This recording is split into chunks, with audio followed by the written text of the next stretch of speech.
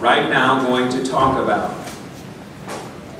the close of probation. I want to talk about one of the most significant events that has come and gone. Many were expecting great things to happen on this day, and perhaps for many it seemed to have come and gone with very little flash, with very little uh, results. A big hype had been made of September 23rd, 2015, when, of course, the Pope himself would come to visit the United States. There were several things that led up to that day. Things that have been brought to the attention of many, especially within the faith community. In fact, myself, I did a series called Prophecy, Science, and the New World Order of which I begin to bring out things that God revealed to me in the months leading up to September 23rd that seemed to have been some things that were of a startling nature, things that seemingly we have never witnessed in our lifetime. And I want to rehearse some of those things because I think that that time having came and gone, Many have sat back and they're resting on their laurels and they're thinking it was nothing, it was just a big hype. But here recently, God has been stirring in my spirit something that I think is of an extraordinary possibility that I think we need to sit up and take pause. Because I believe that that day was not a fizzle or fading away, but something of the extraordinary took place.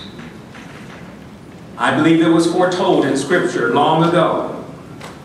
I believe it's something that we as a Seventh-day Adventist people have been waiting for.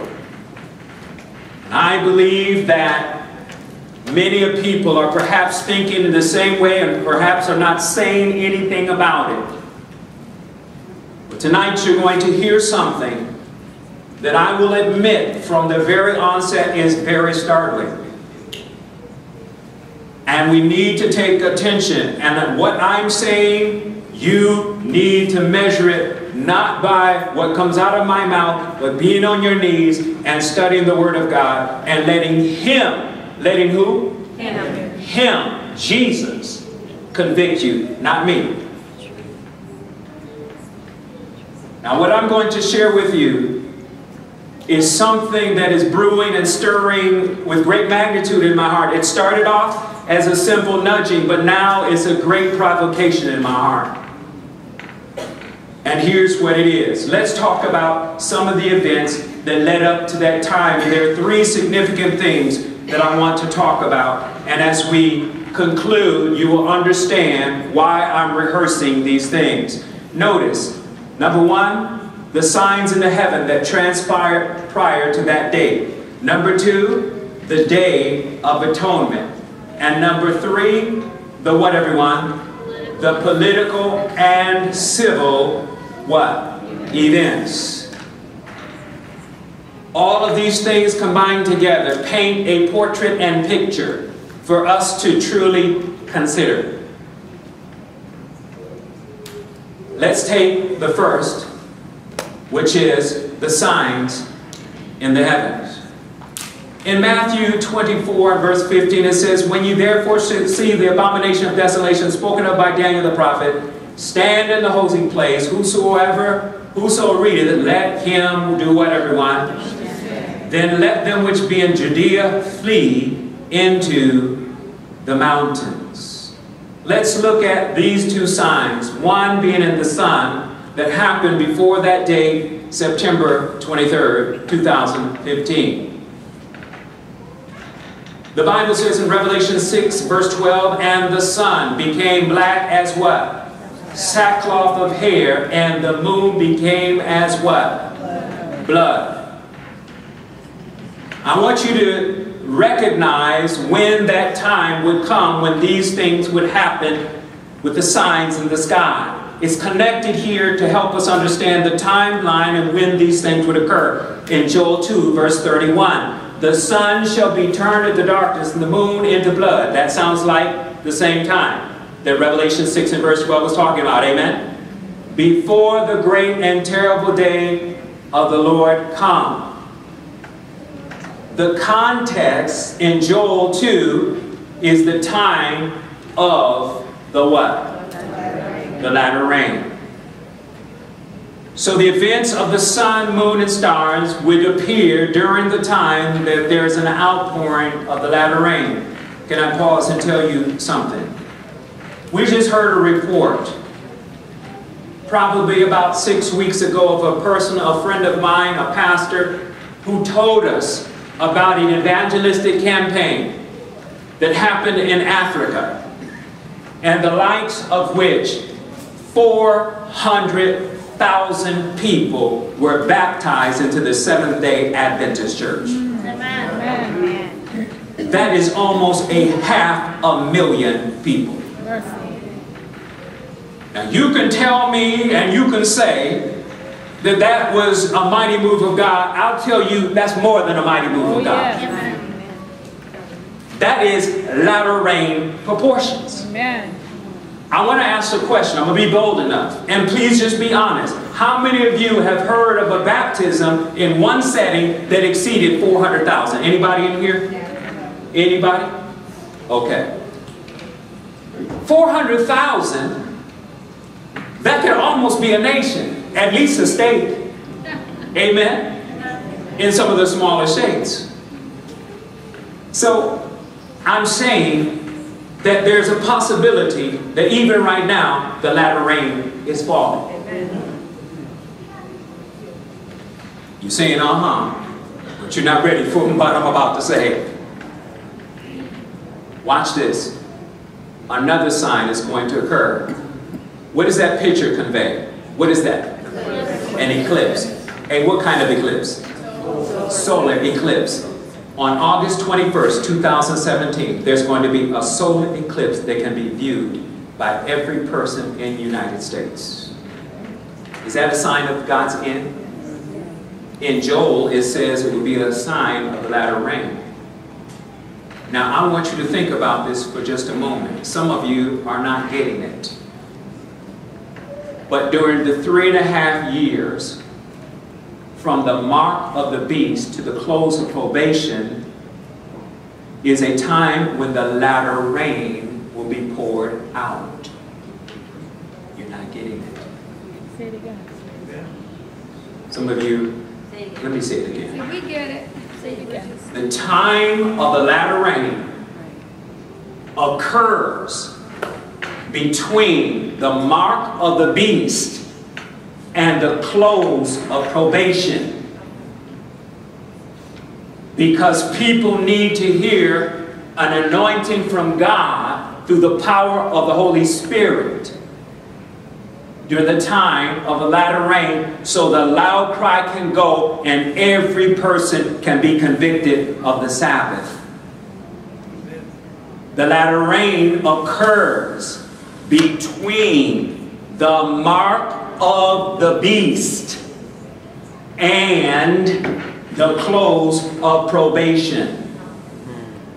And I just told you 400,000 people were baptized. What has to happen before the latter rain falls? The what? You said it, I didn't.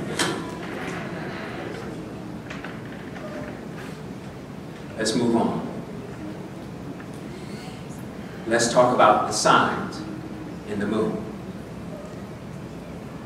Some of you have maybe remembered this.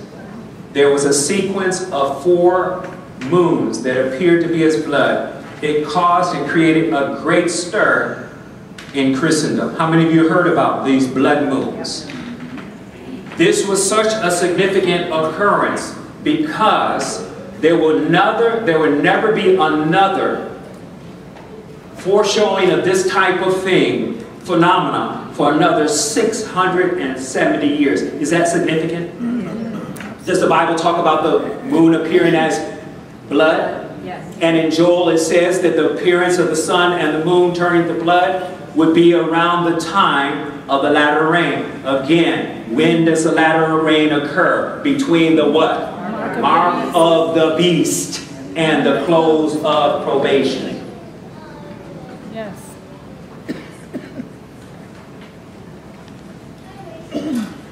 Let's talk about the Day of Atonement. Okay, let's talk about, in order to get to the Day of Atonement, we need to talk about two things significant. When Rome will regain its power, it has to do two things. How many things?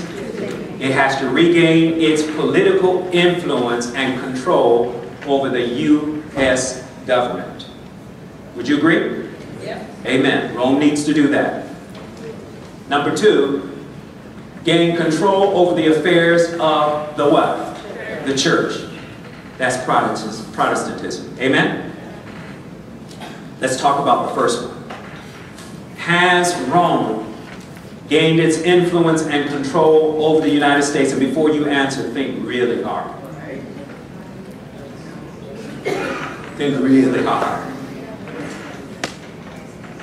Look at this. This daily journal occurred before September 2015 as the Pope was marching onward and upward to promote his climate change through what would then be published in August of 2015 as his encyclical. His what, everyone? Oh my. Let's, let's plug it up before we lose it. You can't lose it. Uh, Where's my Do you need that? My, uh, my charger, sweetheart, is in my, my bag. My bag is right there. Look at the end there, open up, on the right-hand side there. Yeah, there you go. Right there. There, that long piece. Yeah, that's right. Okay. Go ahead, plug it up quickly. Thank you. Use that one there. The square, the square one, yeah. Okay. So this was found in the Daily Journal. Uh, this was, I believe, in 2014 or 2015. Thank you, Joe. I believe we have moved ahead, and this was published as an article in the Daily Journal. I believe we have moved ahead and left God behind. Our factories are closing, stores are going out of businesses, restaurants are closing. Why? Wonder why? God asked us to remember the Sabbath and to keep it holy. We have six days to do whatever, but the seventh day should be to honor our Lord and Savior. Now, this was published in a newspaper, not a religious periodical. If we remember the Sabbath and keep it holy, God will bless our country and town. What do you think? I heard a young man preach the other day, uh, preach the other day and say that the topic was, did God leave us and we didn't even notice? Let us give God back His day so we can hear our grandchildren say that God is blessing us again. What do you think? Would it be worth trying to hear God bless America again? I understand that some jobs do require their employees to work on, huh?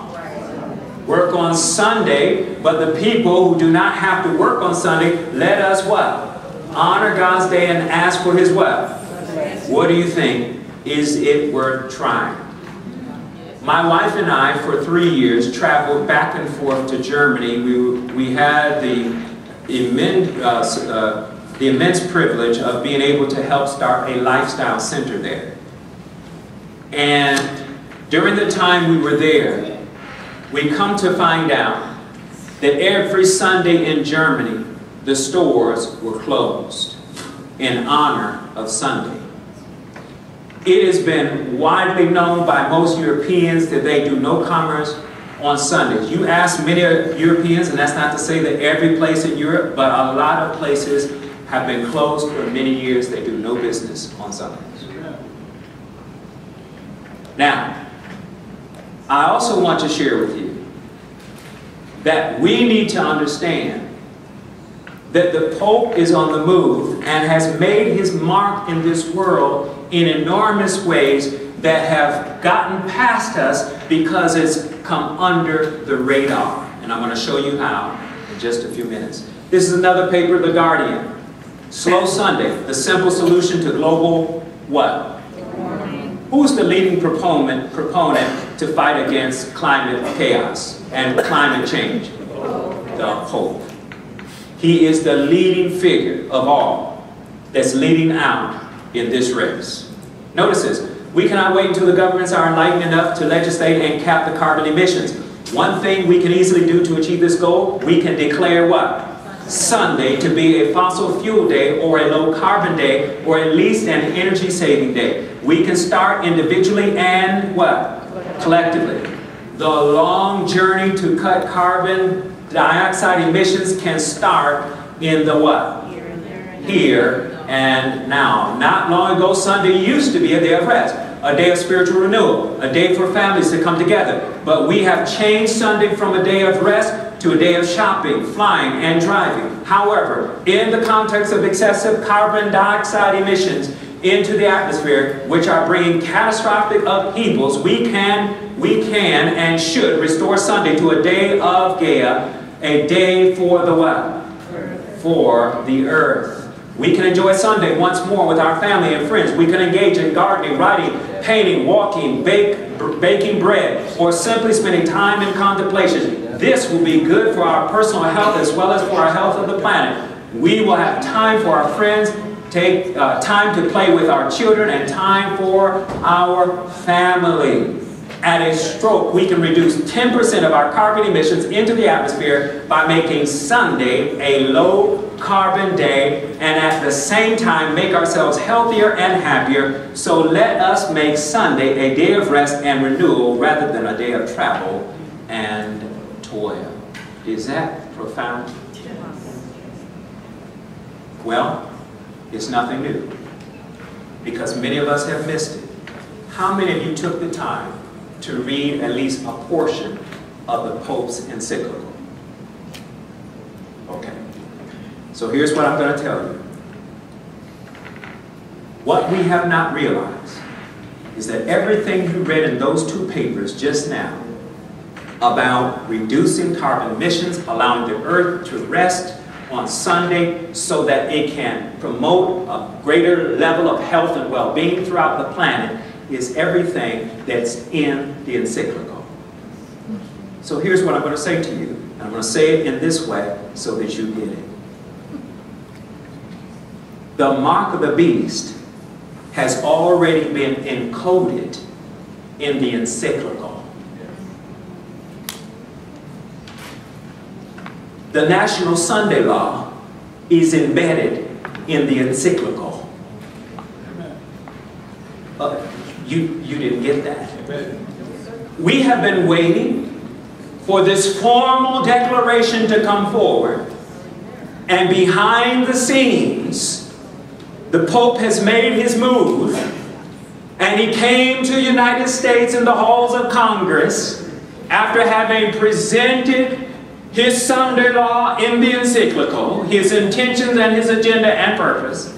And he stood there, and not only did he address the United States, but then he walked out of there, went down the street, and went to the United Nations and told the world. Do you understand what I'm saying?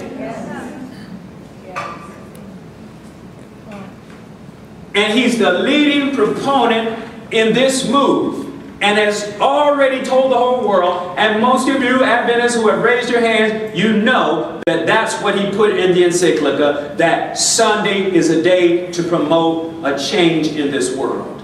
And what better way to do it? Now, I'm going to pause for just a moment and have you turn to Revelation 13. What book did I say? Revelation. And what chapter? 13. Revelation the 13th chapter, and notice carefully what the Bible says. Revelation, the 13th chapter.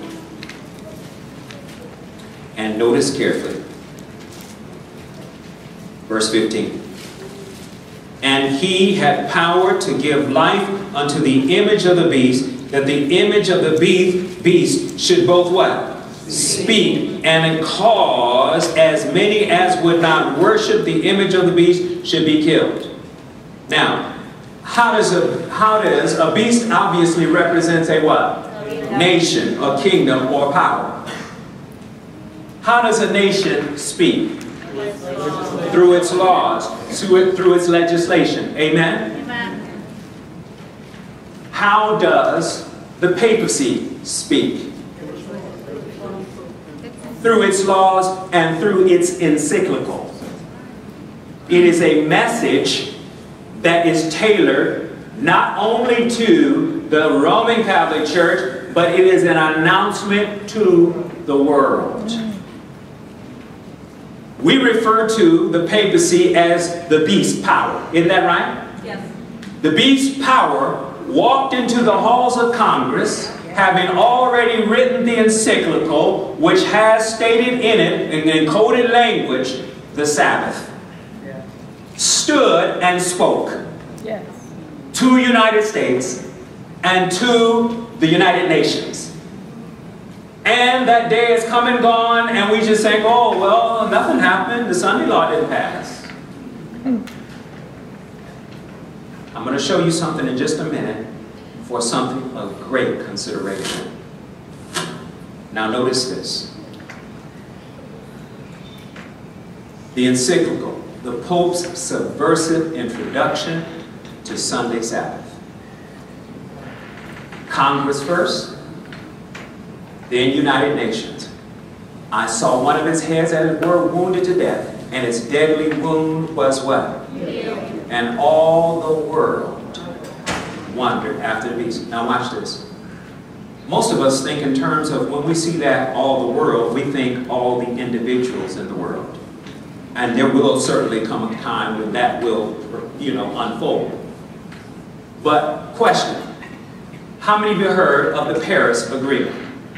how many nations under the sun on this earth were represented there? All. All nations. How many of those nations bought into the Paris Climate Agreement? All but U.S. All of them. Trump Now, we have someone in office now who is pushing against it. But there's some pushback on him.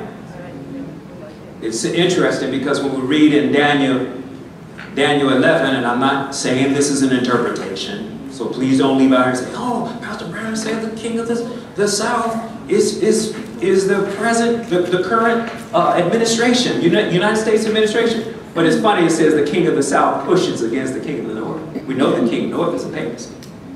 And right now we see some pushback from the United States who says we don't want to go that direction. That's foolish. It's a hoax, right? But nonetheless, the United States will come in line. You better best believe that. Amen? Notice this. Now let's talk about gaining control of the affairs of the church. All right? Wednesday, August 12th, before 2000, uh, September 23rd, 2015, in Vatican radio address, Pope says Sunday keeping is so sacred that it is the conduit of every grace of Christ. Wow. If you don't keep Sunday, you don't have the grace of God in your life. That's what he's saying. New World Order implemented in September. See, when the Pope stood before the United Nations, it was coagulating, bringing together, unifying the world under a mission to save the planet. If the Pope came and said, everybody keep Sunday, people would look at him and say, please, you do what you want. But he did say it. He used a tool to do it. He used climate chaos to do it. Are you with me? The whole world wonders after the beast. I'm going to show you some things that are happening behind the scenes to help you understand a little better about what's going on in January 2014. Anyone know who this man is? His name is Tony Palmer. He was present at a gathering of evangelical leaders. Isn't that right? A leadership conference that was held with all of the big name pastors in the evangelical world. All every person that had a megachurch was there at that convention. And it was during that time that Tony Palmer declared that there was no longer a Protestant movement. And how many of you seen during that video that he actually had a presentation to the Pope and they essentially said, we are on line with you, we agree, no more disunity, we're coming together as one, we support you. You, you seen that, right? Tony Palmer said, brothers and sisters, Lutherans' protest is over. Lutherans' protest is over. See, let, let me tell you the thinking of most of us, because this was my thinking. We were thinking that suddenly the Pope is going to come and make this announcement and try to force people to obey a Sabbath called Sunday. But that's not the way he's doing it. What he's doing is he's introducing it through another means. And what will happen is as we grow closer toward the end of a certain time period, things are going to happen to the economy. It will collapse. And by the time it collapses, then will be said, you know why this is happening? because we are not taking care of the earth. You know how we can take care of it? I told you what we need to do. Are you with me? So here's what I'm going to lead you to understand. The Protestants of the United States will be foremost in stretching their hands across the gulf to grasp the hands of spiritualism. They will reach over the abyss to clasp hands with Roman power, and under the influence of the threefold union, this country will follow in the steps of Rome in trampling on the rights of conscience. Did that seem to happen? Did you know that on October 31st of this year, they're going to have a formal gathering it will be the 500th year of the Protestant Reformation and it will be closed. They said, that's it. The, they had a decree, you might say in 2014, and they're having the close of probation for this year, October 31st. Now, I, I want you to see this. What day was the Pope's visit to America? September 23rd, 2017. Does anybody know what day that was? I'm sorry, that should have been 15. That should have been 15. Does anybody know what day that was, 2015? Somebody said it. It was the day of atonement. Now listen, I'm not a person here to tell you we need to keep the feast. That's not, that's not but here's what I do believe, that God still uses them as markers. Amen. And please don't tell me, I can't believe that, because what was 1844 all about? And that was way after the cross. That was way off after the cross. So don't tell me that, you know, uh, God eliminated those markers at the cross, because if that's the case, then everything falls apart for us except David. So they're still markers because God uses that to warn his people. Because the Bible says he created the days for signs and seasons. So the word is moedim or moed, which is the same word that's used for feast. God uses them as a sign to his people to help us identify when he's going to work and operate. And you know how I know that? Watch this. Go with me to Acts, the third chapter, and verse 19. This is startling. Acts, the third chapter, and verse 19. Acts 3 and verse 19, and when you have it, please say amen. Amen. amen. Repent ye therefore, and be converted, that your sins may be what? Blotted out. Question. What does that word, those two words mean? Blotted out. What kind of language do we usually associate with blotted out? Day of Atonement. Day of Atonement. Isn't that what happened on the Day of Atonement? Their sins were blotted out. Amen? Amen. Now notice what is coupled with this blotting out. Repent ye therefore and be converted that your sins may be blotted out when? When the time of what? Refreshing shall come from what? The presence of the Lord. What is the time of refreshing? The latter rain. So here it is. Watch this now. The latter rain occurs when the Day of Atonement falls. Let me say it again for those of you who may not have understood. The latter rain occurs on a day of atonement, which makes sense because Ellen White says that to receive the outpouring of the latter rain, you have to put away every besetment. Isn't that what she says? On, on the Day of Atonement, what did you have to do? You had to put away what? Every besetting sin. Isn't that right? You had to fast. You had to, you know, pray. And you had to afflict yourself, removing all, all forms of what? Adornment. Isn't that right? So it makes sense. September 23rd, 2015 was the Day of Atonement. And what we just read, what happens on the Day of Atonement? The outpouring of the latter rain. I just told you that 400,000 people were baptized just the other day.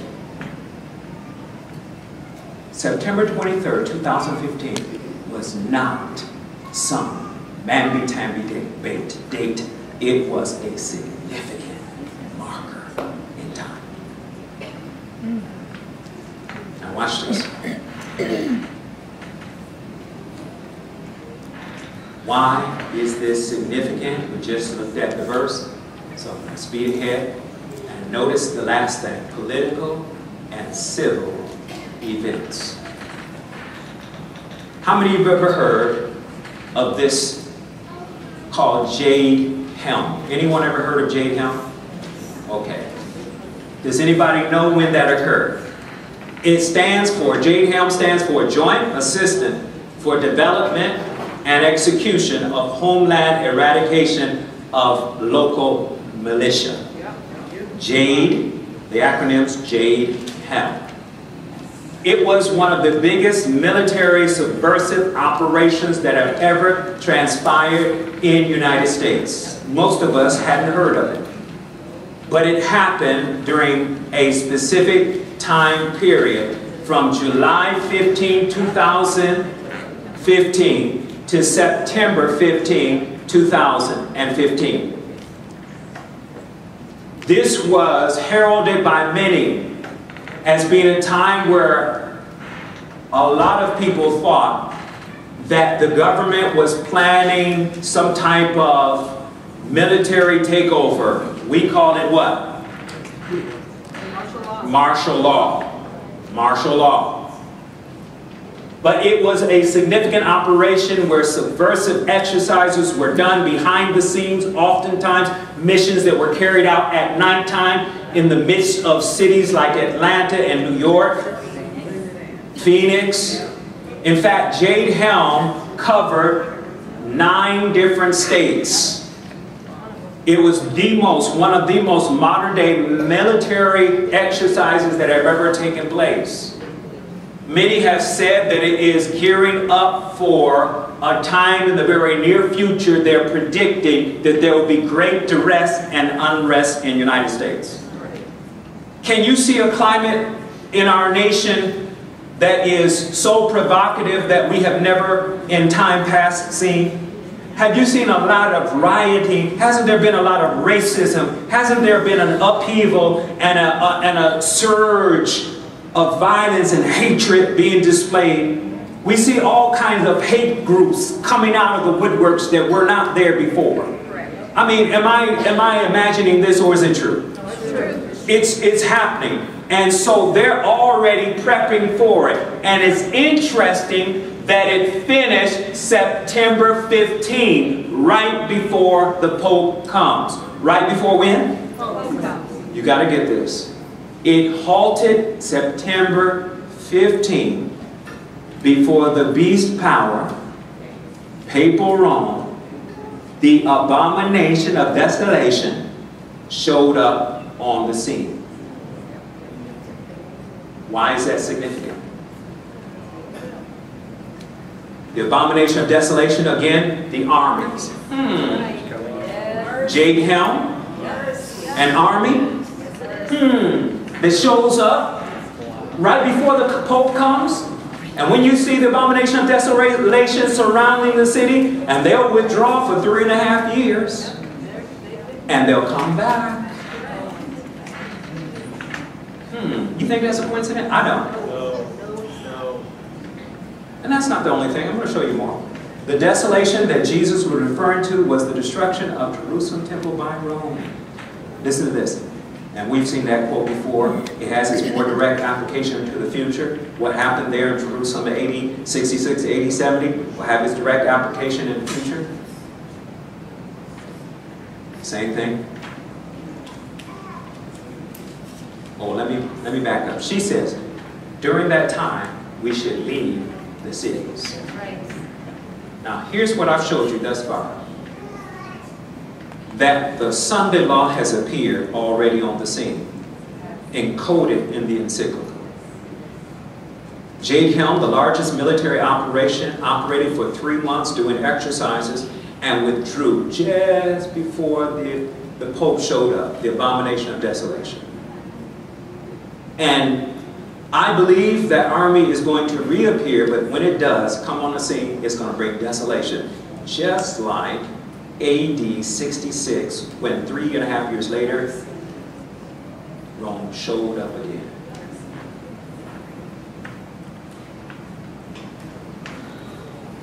The armies collect.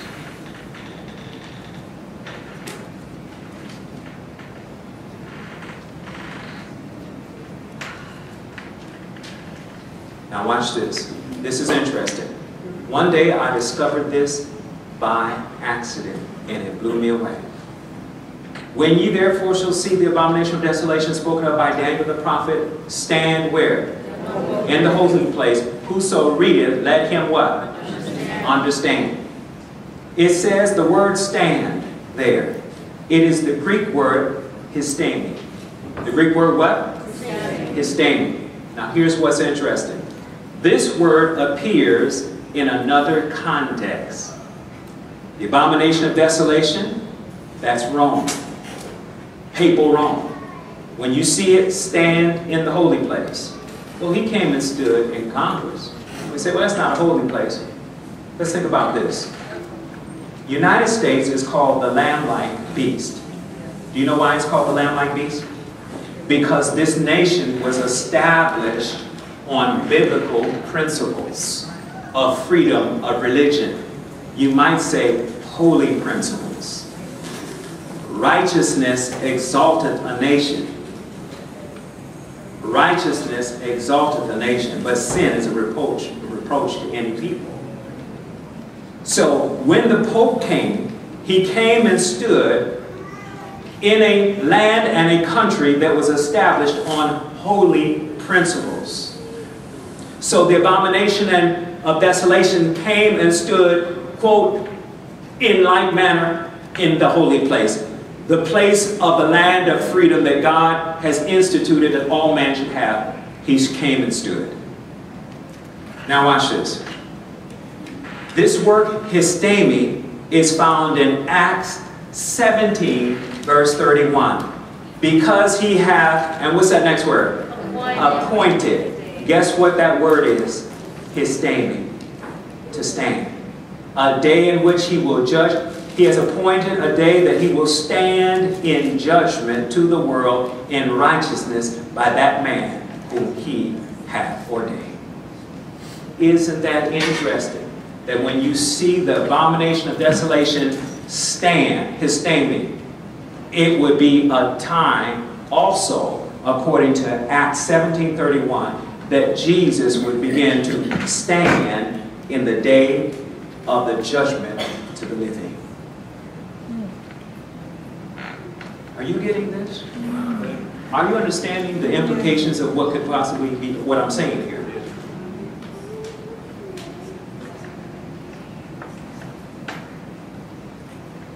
Jerusalem timeline. Three and a half years. Here it is, September 23rd, 2015. It could possibly be. I'm, again, I know I'm sounding strong. And please don't walk out of here and tell the world, oh, Pastor Branner said, yes, it's going to be. I'm telling you, it's a possibility. And it's being weighed more and more on my heart. But all the signs seem to line up. I'm not asking you to believe this. You need to pray about it. But here's what I'm going to tell you.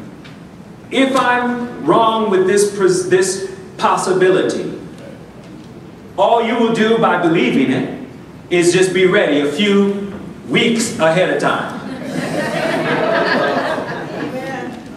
but if I'm right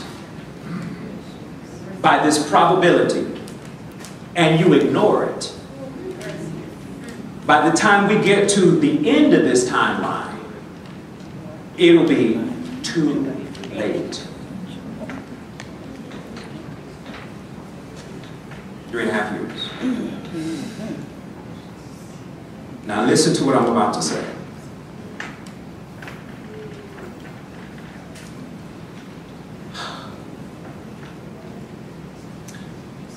In the parable of the ten virgins, the five wise awakened to trim their lamps. They had a. Why are they called wise? And why do they wake up?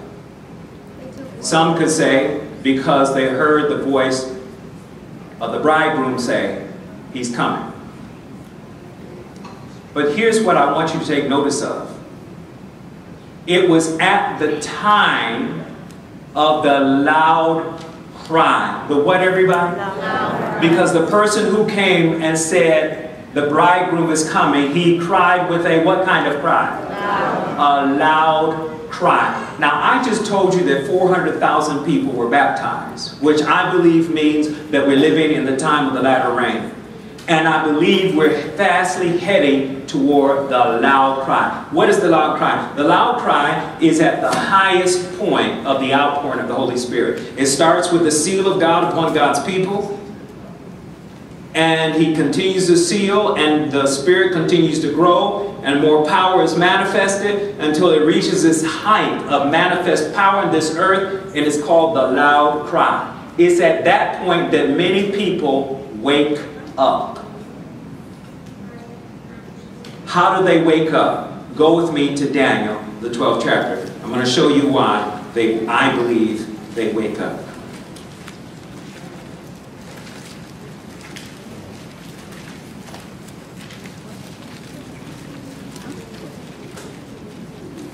Daniel, the 12th chapter, and notice verse 4. But thou, O Daniel, shut up the words and seal this book even to the what? Time of the end. Hmm. Question again, you good Bible students, you've heard it enough this weekend. When is the time of the end? The abomination of desolation. And specifically, when is that? When the papacy reveals itself. Amen? When the little horn propagates the Sabbath, the false Sabbath. Amen? When that time comes, notice what he says.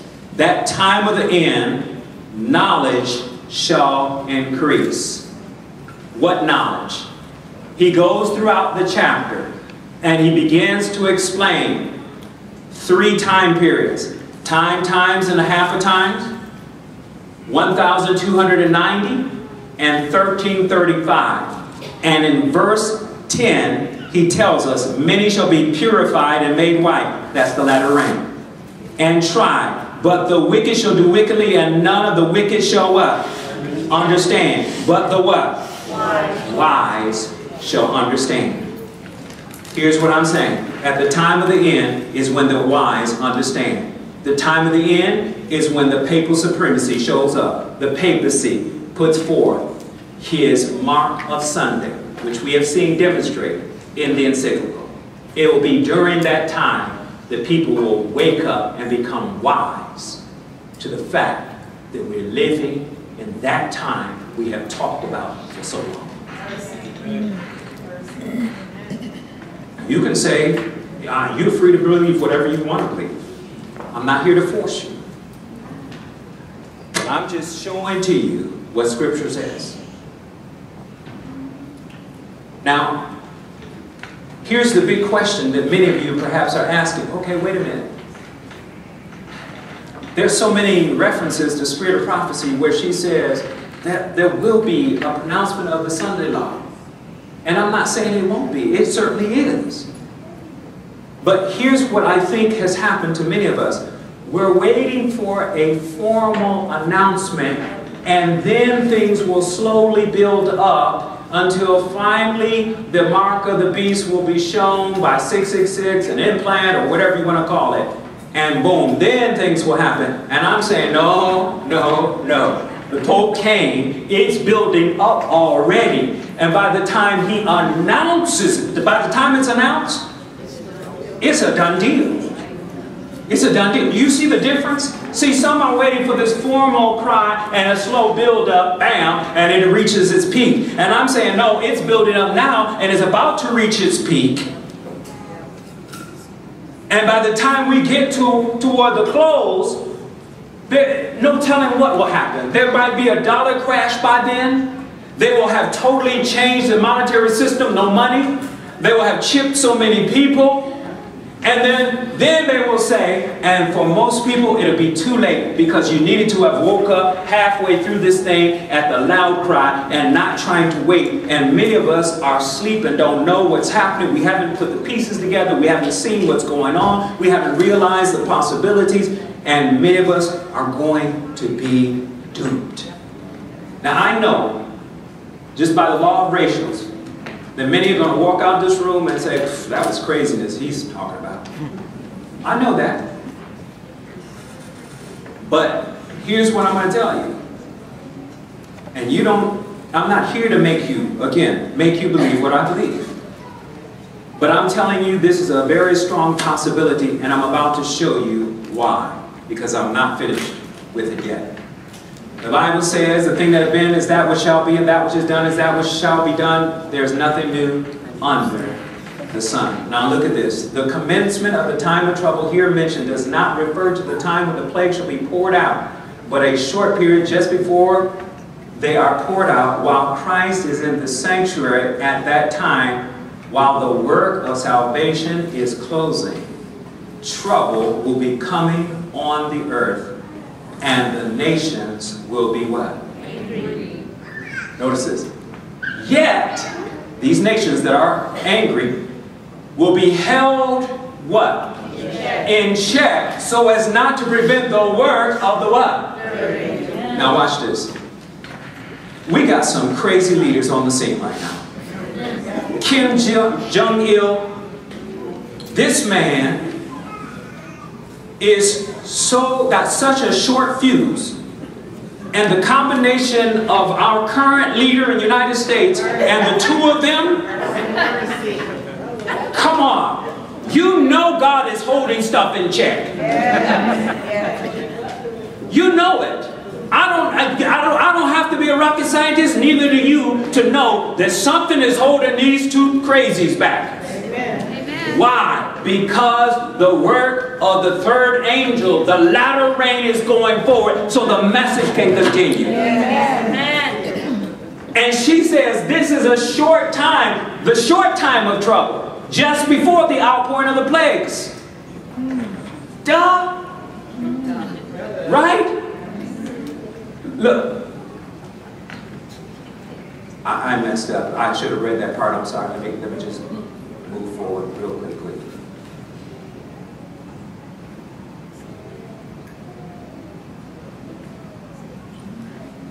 Okay. A short time, okay, next one. Here it is. Yet held in check so as not to prevent the work of the third angel. At that time, the what? Latter rain or the refreshing from the presence of the Lord will come to give power to the loud voice of the third angel and prepare the saints to stand in a period when the seven last plagues shall be poured out. Listen, here's what I'm going to ask you to do. I want you to think about if you have seen the mighty evidence of the outpouring of the Holy Spirit in these last days.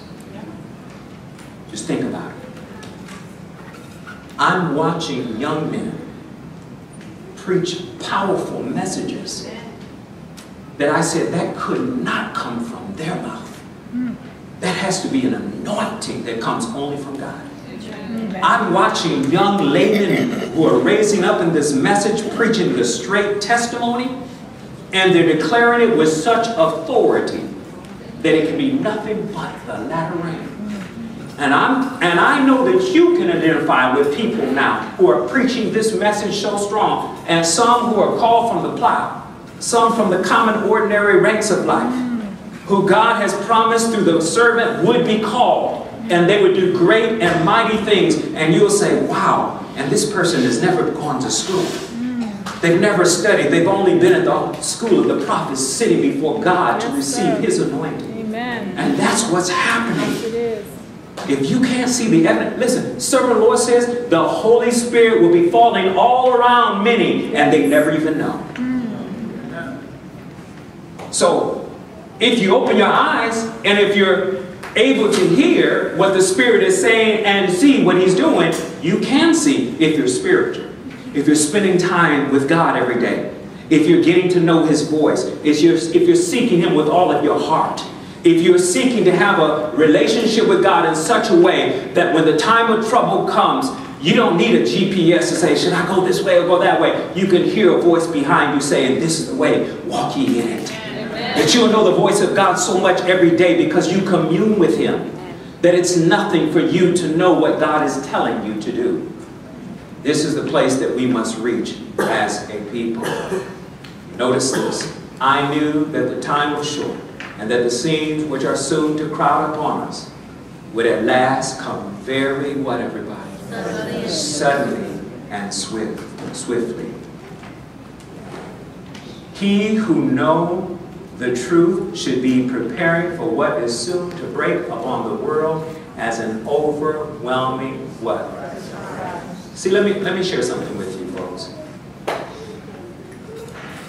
If God didn't do it the way that I believe that He perhaps is doing it now, where subversively the Pope stood and speaks as a dragon, and three and a half years from now, something's going to occur in March of 2019. If God didn't do it that way, and He just showed up on the scene and said, everybody keep Sunday, and then build up to this slow climatic, you know, change where finally, bam, it comes in full force, there'll be a lot of people who will repent falsely because they'll hear it and they'll say, oh, I know that's a sign. I know that's a sign. I know that's a sign. Oh, I need to go ahead and get my life right. But that's not the way the Lord operates. The wise will understand.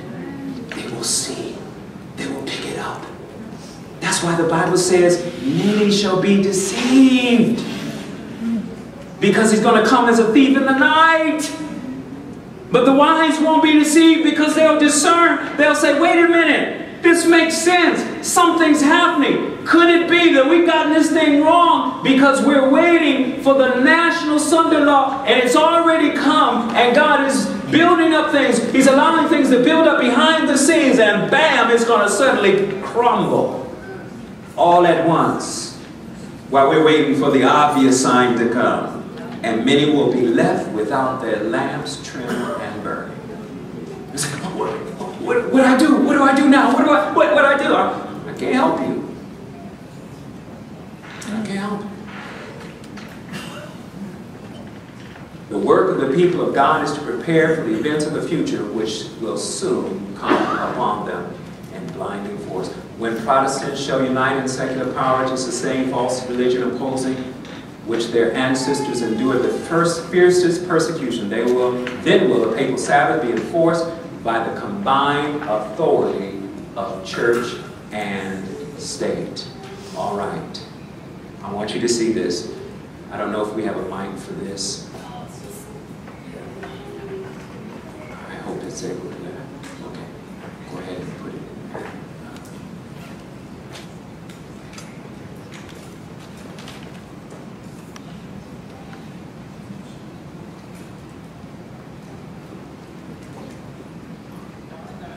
There may be all kinds of new ways to safeguard and identify. This took place all those things that- In 2007, faces, even our fingerprints, even our eyes. I want to I want to start it over because Four now, our This was something that happened 10 years ago, predicting that it would take place in 2017. This is Tom, was it Tom Brokaw? Tom Brokaw. Who is it? Brian Williams. Brian Williams. For now, our special coverage here tonight, life in the U.S. in 10 years' time. By that time, there may be all kinds of new ways to safeguard and identify all those things that make each of us unique, our faces, even our fingerprints, even our eyes. Here now with more on the future of technology, NBC's Tom Costello. The year is 2017. You're rushed to a hospital on D for medical history, but thanks to a microchip under your skin, it's all there. Science fiction 20 years ago, but a biometric reality today. Technology is based on entering one simple question. Am I who I say I am? Already, fingerprints and iris scans verify passenger identities at airports. Within 10 years, that technology may be even more widespread. And look for more complex facial recognition programs that scan a crowd of thousands looking for a single terrorist. Today's facial recognition software starts with the eyes, then it maps out the contours of the face and compares that against a database of millions, a database that's growing by the day. What's next? At the University of Bath in England, researchers predict big changes for consumers. I think it is possible to free us completely of our wallets and keys if that's what people want in 10 years. This us. In fact, it's already here. The latest home security locks use fingerprints to control deadbolts. And at the Jewel Osco grocery store in Chicago, some customers pay using their fingerprints. No paper or plastic. You don't really mean anything other than your hand and you already got it. So will future department stores scan our irises like in the movie Minority Report, then offer products catered to who we are? Hello, Mr. Yakamoto. Welcome back to the Gap. Experts say that technology is here now. The challenge is to safeguard our privacy in a brave new world. Tom Costello, NBC News, Alexandria, Virginia. Okay, listen to what I'm about to say. In 2015, as I had concluded my series on prophecy, science, and new world order, one of my members sat several of my other members down, and I was present at the moment. Her eyes were wide open. She was aghast. And here's the reason why. She's a nurse that works for one of the leading medical institutions in our town. And she said that her boss sat them down, they had a staff meeting, and said that very soon, this was in 2015 now, very soon, they would implement the use of the microchip for medical patients for the purpose of being able to insert it under the skin to monitor high blood pressure levels, uh, blood, uh, blood levels in the body, and all types of medical uh, needs. And she was so startled because I had just shared with everyone that in many places in Europe, they're already using that microchip insert. Now, some people say, well, the mark of the beast is not a literal sign. And for so many years we have said, oh, it's not a literal mark on the hand or nothing. But wait a minute. When John was taken up in vision, God showed him something. In other words, it wasn't just that he was, he had a, a mark, the person just had their mind made up and that was their mark. There was something to identify that he saw on the hand. You, are you following what I'm saying? So I believe that it had to have been something visible that he saw. And now this new technology of this microchip, which has been around, is really not new. It's been around for probably about 10, 15 years. Mondex was the first company that took hold of it and is selling it wide sale. And they predicted this. This was in 2007. And when did they say it would happen? 2017. How many of you heard this? This is breaking news. They said that there's an employee, uh, a a bunch of employees, 50 of them, in Wisconsin who have already allowed them to, to microchip them in their company. That's here in the United States. If you look under Obama's bill, 4780 to 4872, page 2065, he gives reference to the Obamacare bill uh, making exception and allowance for those who desire to have the chip implant to have it done. They put it in bill form so that when they get ready to implement it on a wide scale, they say it's already been passed as a bill. They don't, they don't need our permission. When they're ready to enforce it, they're going to do it. So here's what I'm saying. Here's one thing we do know. Let's just say for a moment, with the scenario that I've given to you, let's just say it doesn't happen in 2019, March of 2009. It may not. And we shouldn't perhaps set dates, dates or what have you. So I'm not hard and fast on that. But here's one thing we do know. It is coming. It is coming. But here's the thing I'm telling you. Don't take a risk and throw the dice and gamble on saying, well, I'll still wait until it's announced. Because here's what I'm going to tell you. Economists have said for the longest time that the dollar is going to crash. It's foretold in the book of Ezekiel, the seventh chapter, and verse 19. Ezekiel, the eighth chapter, is the Sunday law, chapter 8 and verse 15. They're bowing to Matt Tammuz and giving honor and worshiping the sun. That's Sunday worship. Chapter 7, money crash. Chapter 8, sun worship, Sunday law. Chapter 9, seven last plagues. So the money is going to crash. When that happens, which I'm going to give you some insight here, in 1983, and when everybody? 1983. The Economist magazine, I wish I had the cover to post it to show you. On the cover of the Economist magazine, they had a picture of a phoenix, and the title said, Will there be a world currency?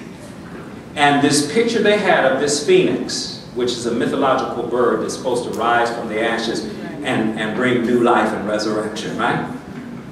Around his neck, he had a medallion that foretold when the possible new world currency would come into effect. Do you know what the medallion read on it? This was 1983 Economist cover. Do you know what the date was? 2018. You have people like Jim Rogers, who is a hedge fund funds financier. You've got people with, uh, uh, with the likes of uh, individuals like uh, uh, Peter Schiff. All of them are saying now that toward the end of this year or possibly the end of next year, there will be a crash in U.S. economy that will be worse than any time we've ever seen, even worse than 1920s. That would be a short time of trouble. And you best believe that they're not going to scramble and think of trying to figure out a solution. They already have it. And that's to get the microchip so that if you want to be able to get your funds, your monies, you're going to have to get that chip implant. And by 2000, if that happens in 2018, which it could, and maybe it won't, maybe they'll delay it, I don't know. But if it does, then we would be right on course for March 2019, where finally it will be formally introduced and everybody will have the chip. And it would just be a matter of saying, okay, you're going to die if you don't do it. Because at the end of the three and a half years, what happens? Martyrdom. Two years will mark September 15, 2017. That's about, what, a month and a half from now. That'll mark two years. We have a year and a half left, if that timeline happens to be right. It may, it may not. But if it is, we got about a year and a half left. And let me tell you something. More and more, I'm starting to be convicted about this thing. The eclipse is coming. The blood moons have fall, fallen. Jade helms surrounded the city, or the nine states. They're coming back. And then now, we have the chip planting beginning in the United States. The Pope came in September 23rd, Day of Atonement. We have had evidence of a massive outpouring of the Holy Spirit already, and if you really look hard, you can say and identify that you've seen the movements of the Holy Spirit. I don't know how much more we could really expect. And to think if we, in the face of all of that, are to say, eh, I'll take my chance. I'm not meant to be here to scare anybody. I'm hoping that it makes us sober and not scared. That it will make us truly surrender to God and see what He's trying to say to His people. He that hath an ear, let him hear. I pray that all of us will commit our lives to Jesus in such a way that we will live for Him today and not tomorrow. We need to call out to God and say, Lord, change me, cleanse me, renew me. And we need to ask God to give us a love for souls and start sharing this truth, to have a courage to let people know that Jesus is soon to return. Amen. Amen. Amen. How many with me want to consecrate, commit, and rededicate your life in such a way that God will be pleased with all your actions? Amen. Can we kneel together as we close out?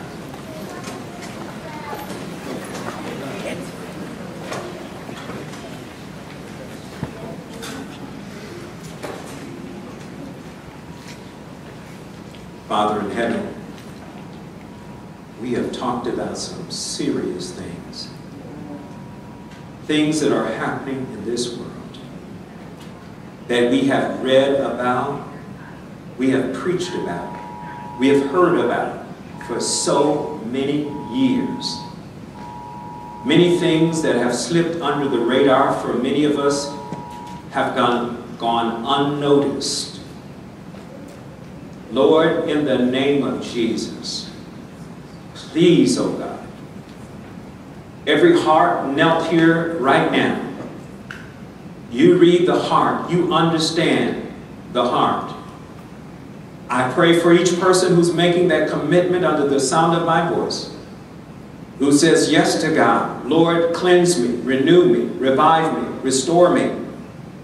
That each and every person will feel the hand of God moving upon them to make their calling and election sure. May, O oh God, we truly and indeed live out righteousness by faith in the one who has promised to save us if we commit our hearts and lives to him. So keep us, O oh God. Sober us and keep us faithful to the very end. In the worthy and precious name of Jesus. Now, O God, forgive us of every sin. Cleanse us from all unrighteousness. Those darling habits that we're hanging on to, give us victory over. Those things that we're clinging to, that you have told us time and time again. Help us, Lord, to look to the cross. Help us to look to you for our strength, from whence cometh our help, that we might be relieved, and that Christ would no longer be suffering crucifixion. These things we pray earnestly, begging you to complete your work. We thank you, Lord, and praise you. In Jesus' name, amen.